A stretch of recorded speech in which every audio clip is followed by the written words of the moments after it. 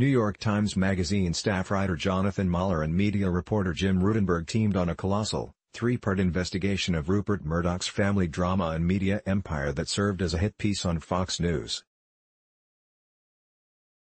A summary article, and part one of the enormous piece, were dealt with earlier.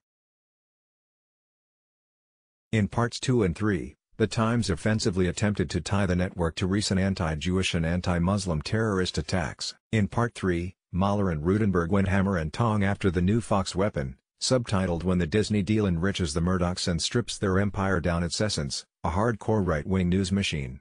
After the Times hinted without evidence that the Trump administration is rewriting rules to benefit Murdoch's empire, Sky News Australia was described as a mirror of Fox News, with its fixation on race, identity and climate change denial. Night after night, Sky's hosts and their guests stirred anger over the perceived liberal bias of the media. Then things really got offensive, with the Times playing guilt by third-hand association in a disgusting attempt to lay the blame of terrorist bloodshed at the feet of Fox News hosts. In the days leading up to the conference, some Fox News hosts and guests had been moving ever closer to openly embracing the most bigoted sentiments of the white nationalist movement. A few days before the anti-Semitic attack on a Pittsburgh synagogue that killed 11 Jewish worshippers, a guest on Lou Dobbs' show had said that a migrant caravan headed to the United States border from Honduras was being funded by the Soros-occupied State Department. The network apologized. The shooter, according to a post he made on social media, had come to believe that Jews were transporting members of the migrant caravans.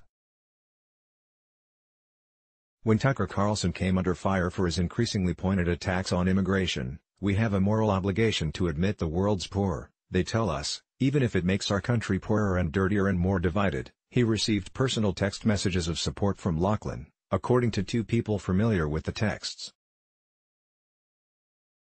Amazingly, Mahler and Rutenberg soon topped themselves for offensiveness, linking Fox News to the mass murder of Muslims in New Zealand. Thousands of miles away, Another consequence of the global ethno-nationalist fervor that the Murdoch Empire had amplified and mainstreamed was playing out in New Zealand, where an Australian white nationalist, Brenton Tarrant, stood accused of killing 50 worshippers at two Christchurch mosques on March 14. There was no direct connection between Tarrant and Sky Australia, but critics of the network quickly drew attention to its consistently anti-Muslim rhetoric. In Part 2, Internal Divisions, focusing on family conflicts, we learn that while the Times reporters may revile Fox News for racism and far-right nationalism, the left-wing, taxpayer-funded, BBC in Britain is held in high regard. Years earlier, when James was fighting in Britain for the first failed Sky deal, he expressed contempt for government meddling in the media's affairs and impugned the nationally esteemed BBC as a chilling media monolith. Murdoch's ambitions had been subverted, finally and definitively, by his own failings, the family squabbles, the reactionary drift of Fox News, the Sky News debacle. Apparently the Times couldn't locate a single critic of the BBC's liberal political bias. That harmed the narrative. Pittsburgh synagogue shooting New Zealand shooting racism Islam Judaism Fox News Channel New York Times UK Jonathan Mahler Jim Rutenberg